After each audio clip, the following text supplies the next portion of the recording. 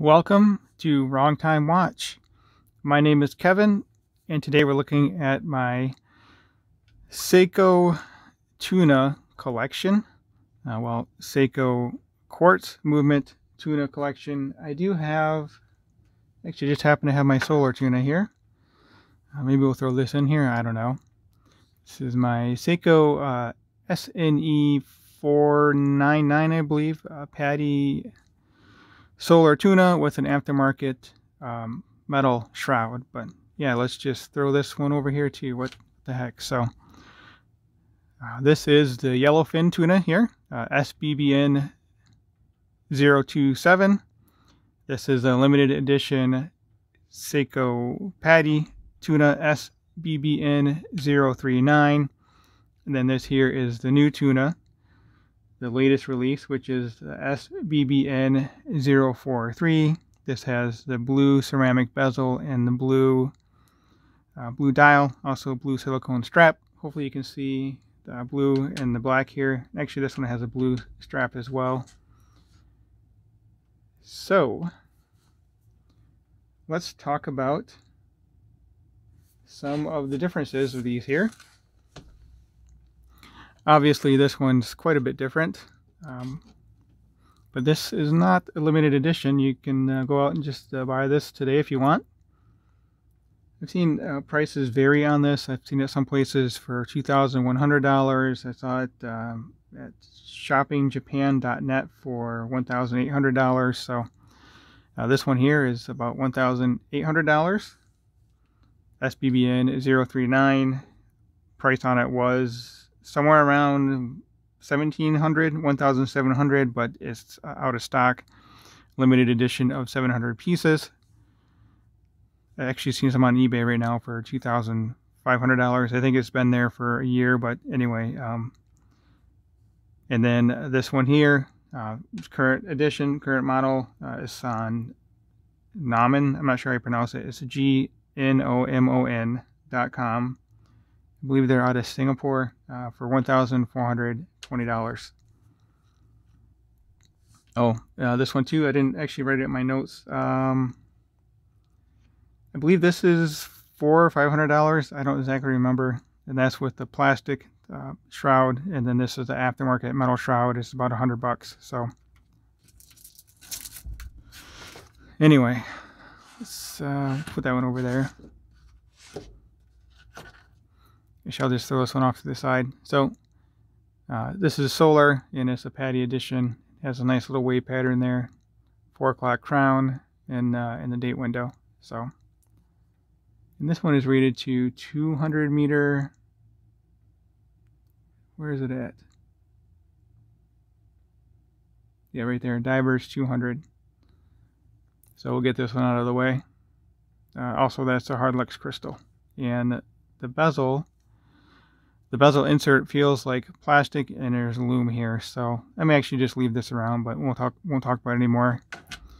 Um, the bezel on this has a similar feel to this. It feels like plastic. It's um, yellow, obviously, which is a special color for Seiko. I guess they use that for racing partnerships. but you can see the minute hand on this is yellow.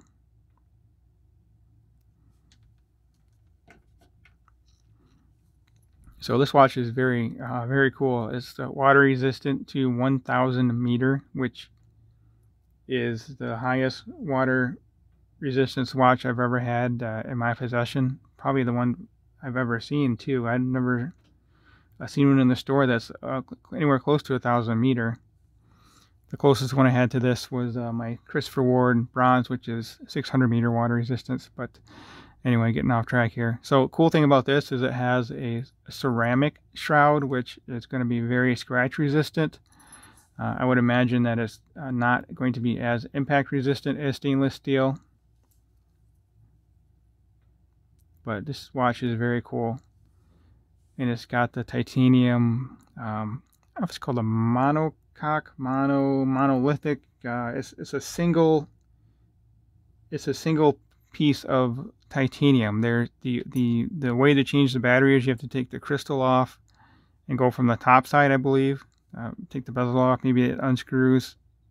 I'm not exactly sure how that works, but does not have a, a screw down case back. It has no case back. And this is more of a typical dive watch design with the screw down case back, 300 meter water resistant.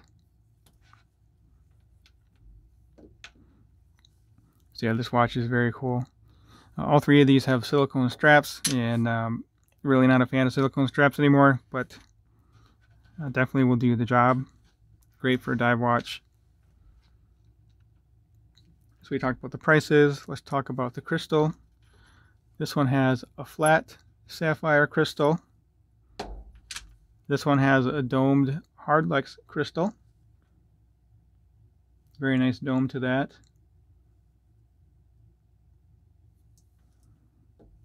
And then this one has a domed sapphire crystal. I could not see the dome uh, just looking at the top of this watch. So I don't know, but you can definitely see the distortion here. I don't know if this is domed from the other side or what, but and also it has uh, AR coating applied.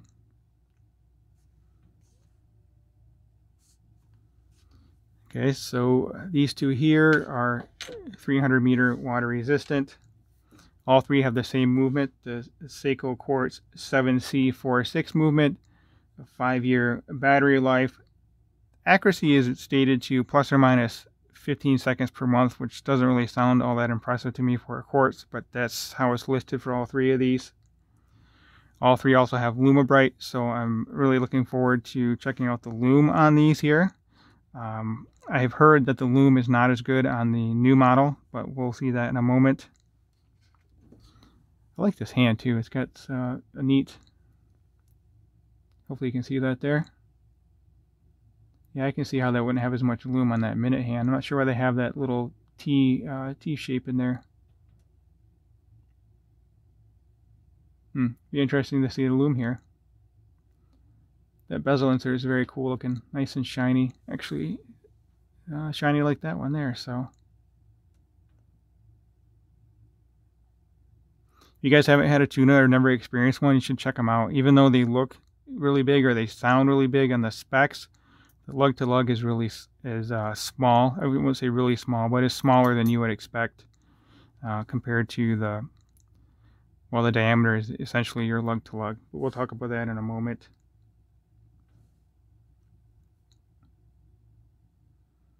Actually, we'll talk about that uh, right now. Actually, before we get into the dimensions, I'm going to uh, get my scale and we'll weigh each of these since this is titanium with ceramic. All right, well, hopefully you can see the number on that. Go with the 2.7 first. So 119, 18 grams. Then the 39 SBBN 39.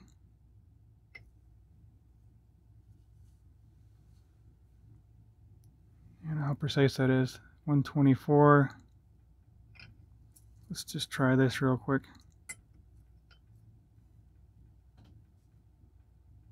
Yeah, so that's the same thing.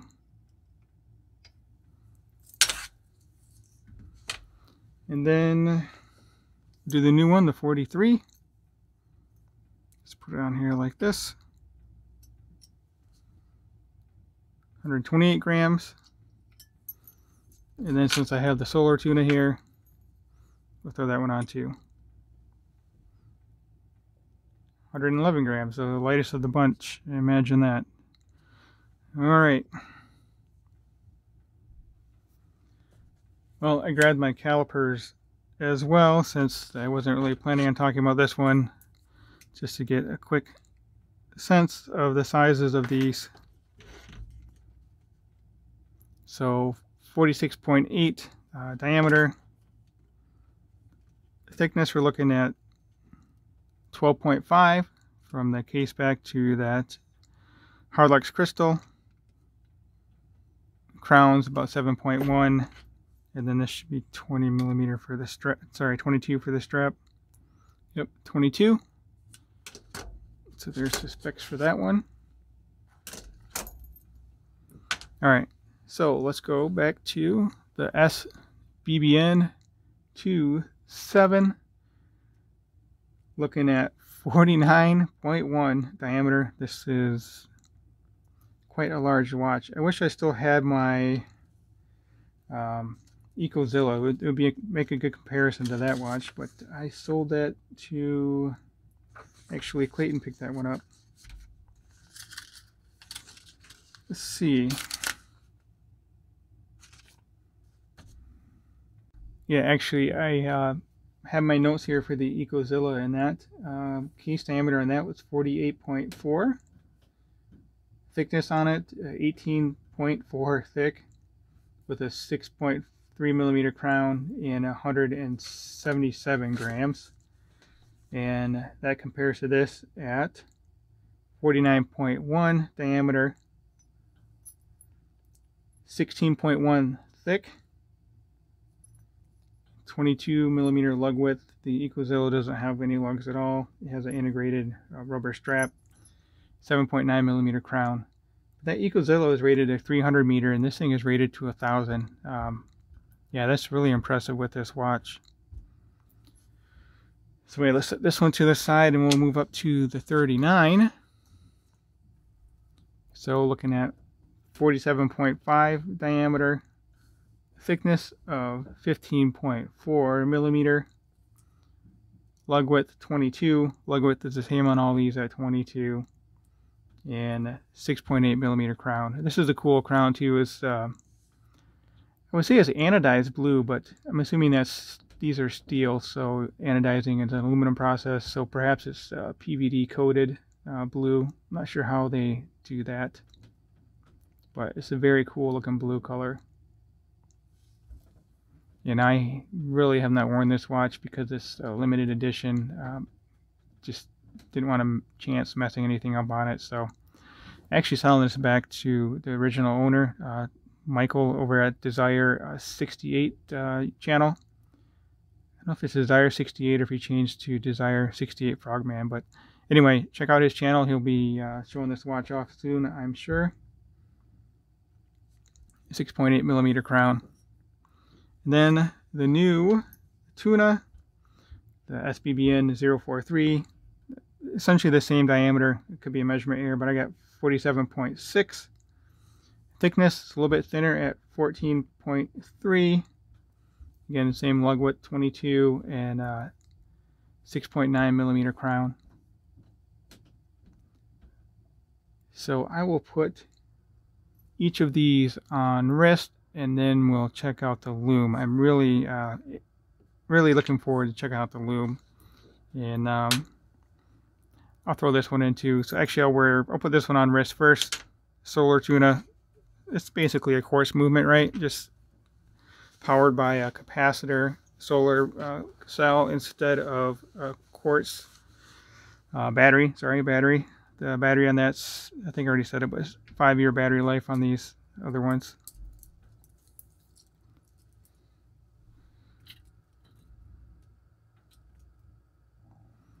Alrighty, solar tuna.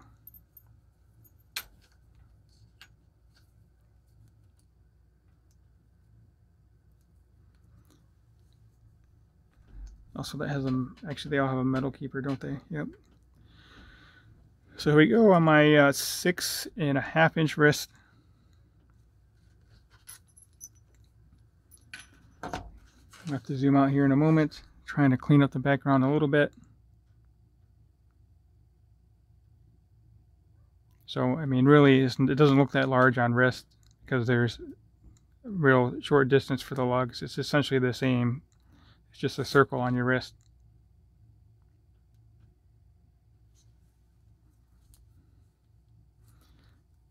Um,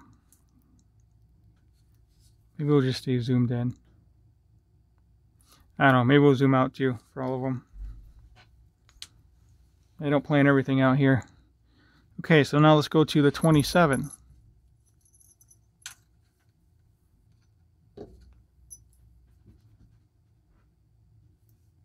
Such a cool watch.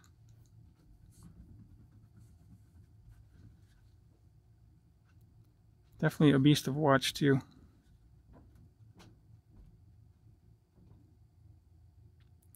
Still doesn't give me the big uh, beastly beastly feeling of that uh, Ecozilla, but definitely a large watch on wrist, but it's not not terribly heavy.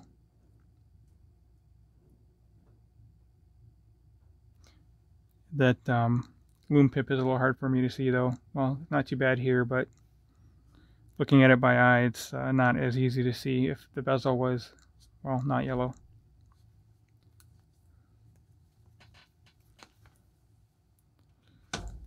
All right, so let's move up to the 39, which has the old style uh, lume pip here.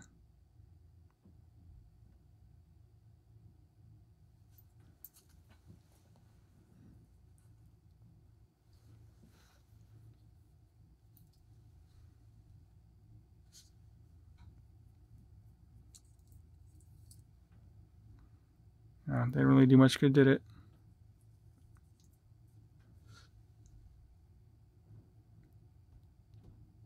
So this was a 47.5 case diameter, and um, the black one was a 49.1.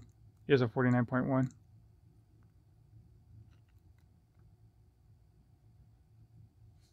Oh, yeah, I didn't even talk about the kanji date on all these. They all have the kanji date, which is cool. This one's here a little harder to read since it's light blue on a, a darker blue.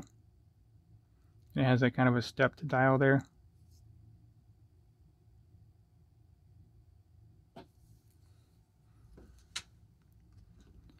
See it a little easier on this watch is white on is that a blue or black? It looks like a blue date wheel so that's uh, very cool. It doesn't have that uh, stepped circle in the middle here anymore. Also if you look at the SBBN 031 which was the previous tuna uh, similar to this but instead of saying PADI on the dial there it said Marine Master I'm gonna see if I can get uh, get one of those watches in on loan and compare it to this watch here. Anyway, let's get this on wrist, and then we'll check out the lume here. Trying not to run too long with this video. So let me know which of these three, well, four watches is your favorite. Let me know if you guys have experienced the tuna yet. Um, this is the actual tuna versus, um, I know there's the baby tuna, there's some automatic versions, and then there's the solar tunas, but uh, these guys are the actual tuna watch. I'll zoom out here.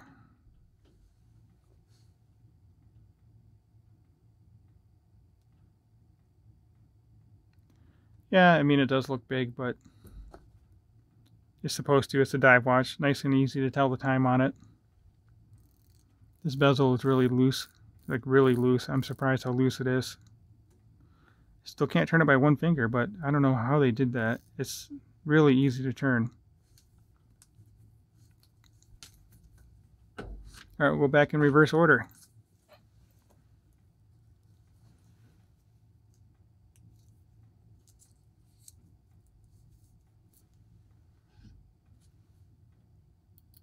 Yeah, this this is a good feeling bezel.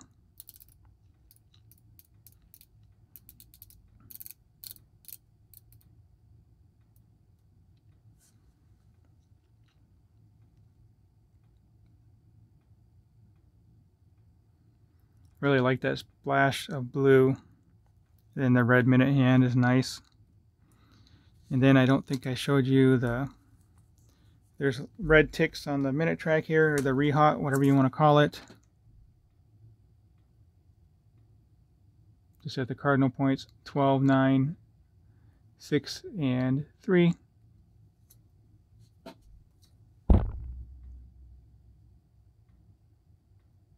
So anyway, all right, and then let's get the black one on wrist, and then we'll get to everyone wants to look at the lume.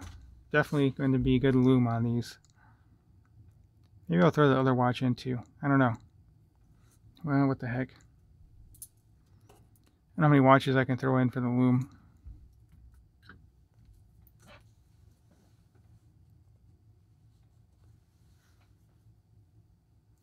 Yeah, that's a 300 meter dive watch, isn't it?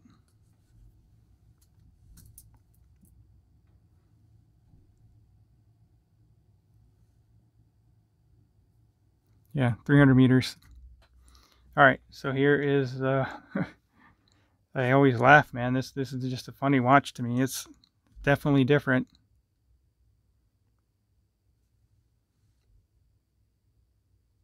It almost looks smaller because it's black. It looks smaller to me on wrist than uh, this one here, for example. Even though it's was it seven, two and a half millimeters larger. There's a one and a half, one and a half millimeter larger. 47.5 to 49.1.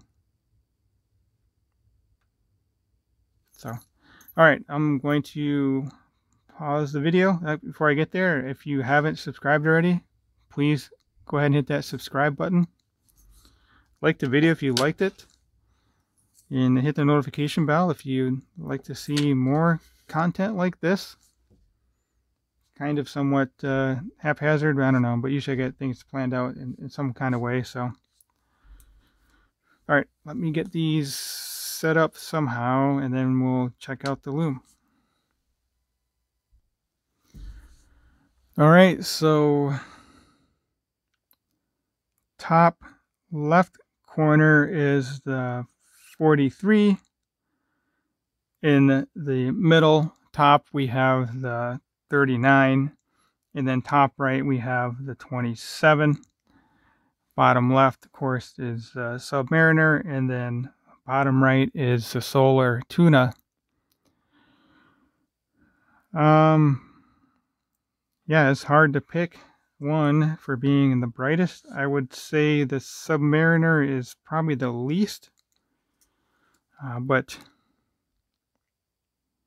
yeah, it's not quite as bright as the Solar Tuna. But really, um, you can't go wrong with the lume on any of these watches. So let's set this one off to the side. And the Solar Tuna will set off to the side. And let's look at the SBBN 43 and 39 here on the right. Yeah, I don't know. I mean, Lume looks pretty much the same to me. I don't really care for that minute hand on the on the 43. It looks too much like an hour hand to me. But uh, yeah, it's longer than the other one, but it looks like an hour hand. It's not as easy to differentiate this as the 39 on the right here. Let's take a look at the 27.